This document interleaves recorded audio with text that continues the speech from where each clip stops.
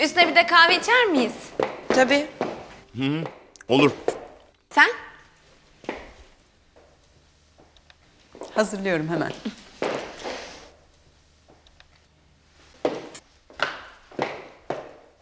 Annene çok benziyorsun.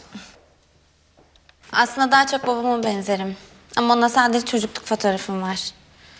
Çünkü ben üç yaşındayken onu kaybettik.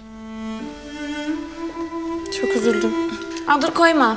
Bak daha çok ilginç fotoğraflarımız var orada.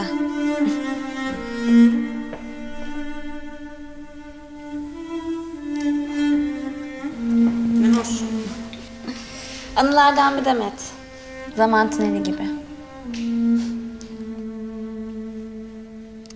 Bu kadar eski tanıştığınızı bilmiyordum. Hadi gel oturalım. Ee, aynı ortamdayız. Bulmuşuz birbirimizi. Cemiyet. Sen bunların dalga geçtiğine bakma.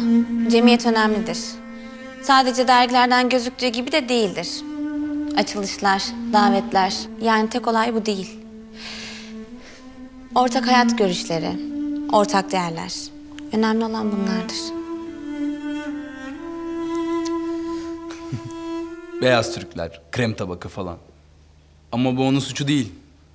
Bütün o sosyete dergileri onu bu hale getiriyor. Canım benim, kıyamam ben sana. Cemiyeti sosyete dergilerine indiremezsin Koray. Ben de Hande ile aynı fikirdeyim. Sınıfsal fark diye bir şey tüm dünyada var. E bunu da reddedemezsin. Sınıfsal fark.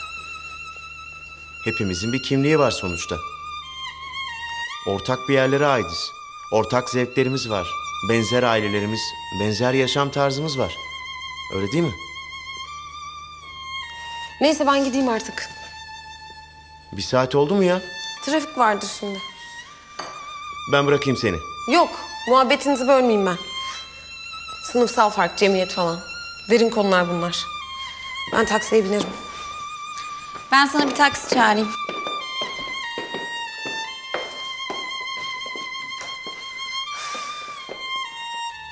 Senin yanında bana da böyle oluyor işte. Sen yeşili seyrediyorsun ya. Ben de seni saatlerce seyredebilirim.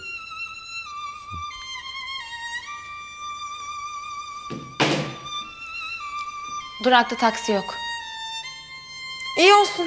Sokaktan binerim ben de. Bu saatte burada bulamazsın. Ben seni bırakırım. Yok gerek yok. Kendim giderim. E, amma uzattın Feriha. Annenler bir kız arkadaşın arabasından indi diye kızmazlar herhalde. Ailemle ilgisi yok. Fuzurlu kibarlıkları da gerek yok. Görüşürüz size iyi muhabbetler. Görüşürüz. Görüşürüz.